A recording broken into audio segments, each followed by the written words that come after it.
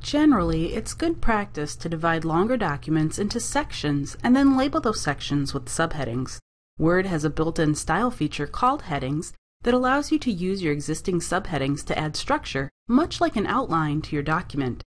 A structured document is easy to navigate and accessible to everyone. I've created a syllabus to which I'd like to add Word's heading styles before uploading to my online course. I've already typed my subheadings so that each section of my document is clearly labeled. I'll start by giving the title of my syllabus a heading style to create the structural foundation for my document. I'll highlight the title, and then in the Styles group, I'll select Heading 1.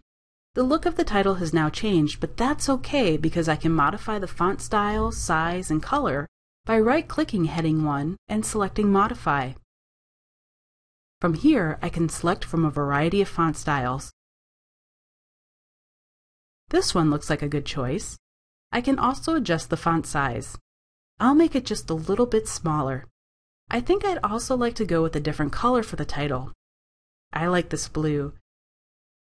Press OK and the changes are made. Now that the title has a heading style, I can view the structure that I'm creating by selecting the View tab and checking the box next to Navigation pane. The title of my syllabus is appearing in the navigation pane. If I scroll down a little further in my document, I can use the navigation pane to quickly jump back to the title. That's pretty handy and it's what makes using heading styles so accessible.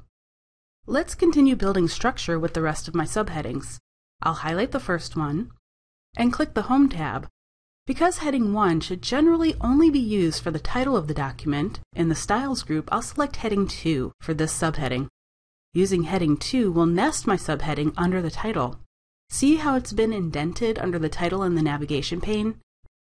The heading 2 style can be used as many times as you'd like in the document. I'll use it for the rest of my subheadings.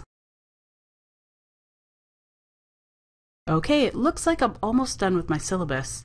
I've used heading 2 for all of my subheadings because they should be equally nested under the title of my document.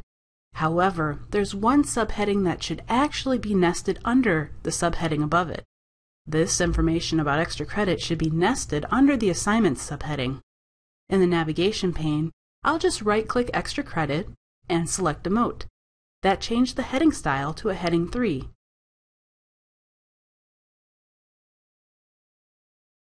See how it's a heading 3 in the styles group? Alright, before uploading the syllabus, there's one last thing I'd like to do. I'd like to make all of the subheadings the same color as the title. Word makes this easy by right-clicking the heading style and selecting Modify. I'll select blue, and then make sure that there is a check next to Automatically Update. If desired, you can also change the font size and style.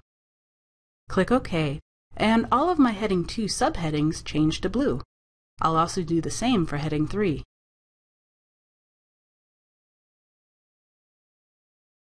Okay, I've finished creating structure with the subheadings in my syllabus.